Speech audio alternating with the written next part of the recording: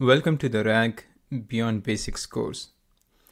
In this introduction, we will discuss what this course is about, who is this course for, what we will cover, and why you should join us. So what is this course about? This course will teach you how to interact with your text-based documents using the power of large language models.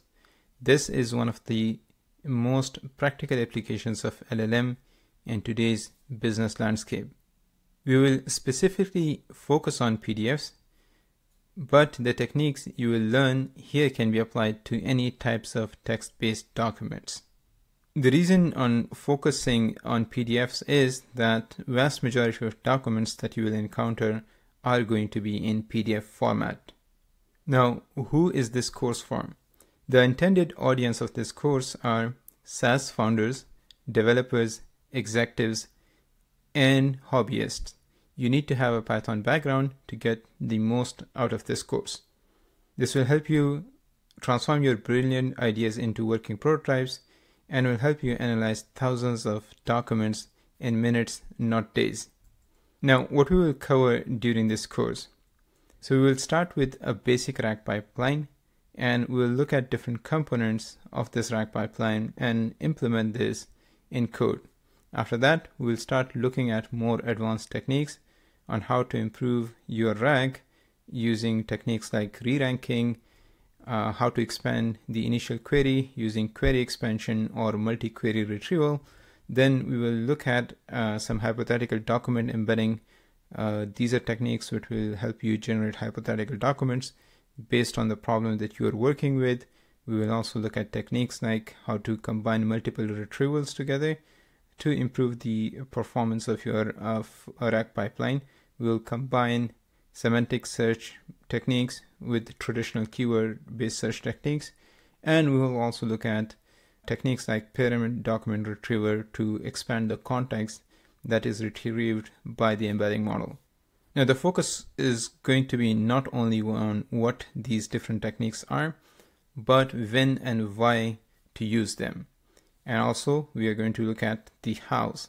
We will look at practical code examples on how to use these different techniques in different scenarios. And the best part is that you are going to get a fully working Python package that we will create throughout this course. All of the lectures in the course will help us create this Python package that you can use in your own projects. The course will initially uh, focus on these topics, but since RAG is an ever evolving field, this course will be updated with new topics and lectures. Now let's talk about the LLMs and models that we will be using during this course. The course is going to be mainly focusing on the use of LLMs and embedding models from OpenAI. And the reason is that it's a simple API call which will help us quickly build our prototype. In the last uh, part of the course, I'm going to show you how to use local LLMs as well as local embedding models to replace OpenAI models. So you will be able to run this completely locally without relying on any external APIs. Okay, if this all sounds good and you're thinking why take this course, so let me tell you a bit about myself.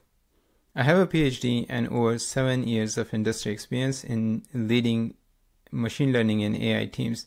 I have built systems powering tens of thousands of consumer devices.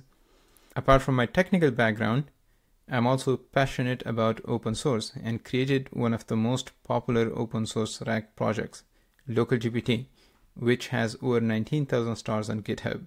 I also provide advisory services to startups in the space. We will have a dedicated channel on a prompt engineering Discord server for this course.